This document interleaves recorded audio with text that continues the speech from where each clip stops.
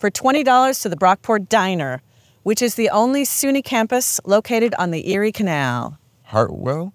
No. Who is the current president of SUNY Brockport? I have no idea. Hi, I'm Heidi McPherson, and I'm president of SUNY Brockport. Today, we're quizzing first year students on what they know about Brockport. Let's see how they do. Thank you for playing our trivia game today, which is the only SUNY campus located on the Erie Canal. Um, Hartwell?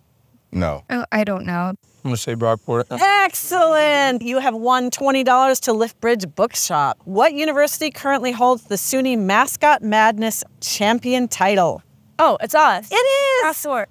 Rockport. Rockport! Excellent! You won! All right, now there is another opportunity for you to win even more. $50 gift certificate to 58 Main, who is the current president of SUNY Brockport.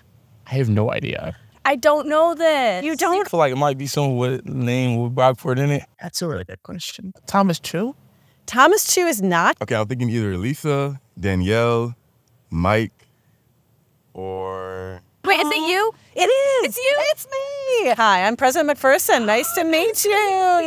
Oh, oh, it's you. Oh, oh my nice goodness. To meet Nice you. to meet you. If I see you around, please give me a hey and a hi. Big shout out to everyone who supported today's game. They are all listed below. Do support our local businesses and welcome to Brockport.